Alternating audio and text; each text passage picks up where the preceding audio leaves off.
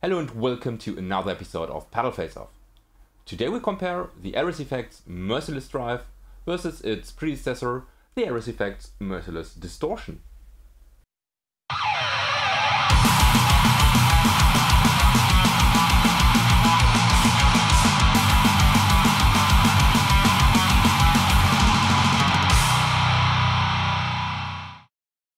The merciless distortion is long discontinued and the merciless drive is basically Airis Effects' newest try on the HM2. We can see that it's obviously the successor because they have the same artwork.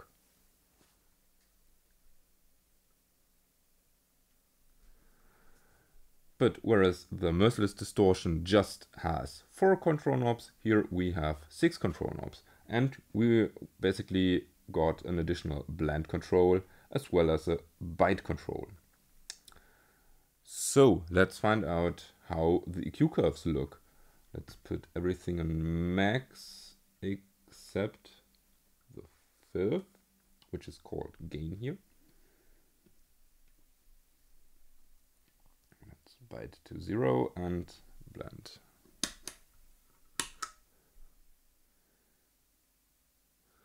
So, as you can see, we have some huge volume here at the Merciless Drive. So let's put that actually down until we meet the level, kinda. think here. So now what you can see is they both have a slightly different high peak and the merciless distortion has a way more pronounced mid gap and the low peak is higher as well. But we haven't included the bite here, so well nope. And now add some gain actually.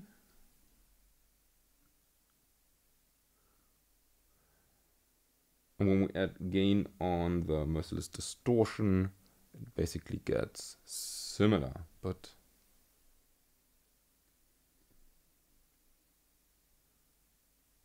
but it's doing just a little bit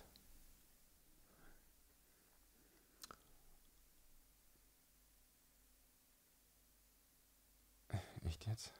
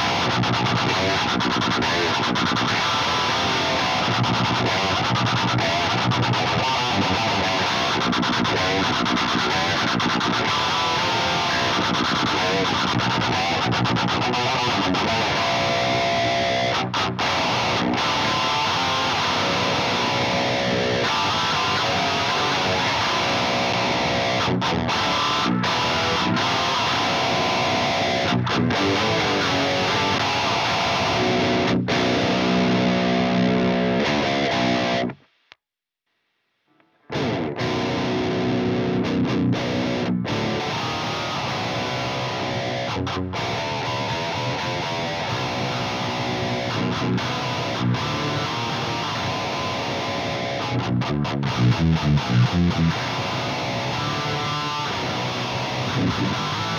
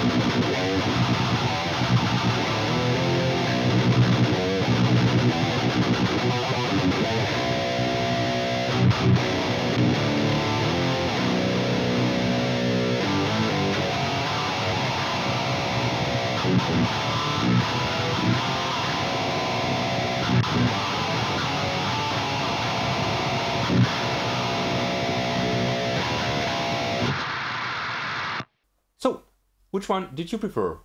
The old school pedal, the new school pedal, or do you think both are so different that you can justify keeping both? Let me know down in the comment section. And if you want to support this channel, check out the links in the description and you might want to consider becoming a YouTube member. Well, and with this being said, thank you for watching. Don't forget to subscribe. May the power protect you and have a nice day.